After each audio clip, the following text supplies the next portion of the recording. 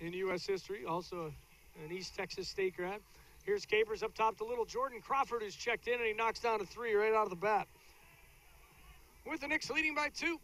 Here's Crawford left side, gets a screen from Keith Wright, now takes it to the foul line. Little push shot on the move. He got it to go, and he was fouled. This is the layup as he was bumped by Inglis to try to get credit for the foul draw, but didn't. Here's Crawford wide open three, right wing, got it.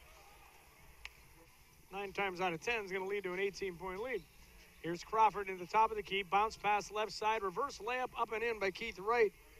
For just taking his time with that big bun on the back of his head. Six seconds to go, he gets a screen from right. Top of the key, three seconds to go, he puts up an 18 footer and he got it with 1.1 to go. Keith Wright just to the Wright of the top of the key, dumps it down low, and Capers gets it to Crawford, left corner, one dribble, step back, three pointer, got it. Jordon Crawford with another big shot, left corner, Lamb on him giving him the baseline. Let's see if Galloway takes it. No, he dribbles it out front as it poked away and it's stolen. Crawford one on one against Petroselli, gets to the rim and lays it in.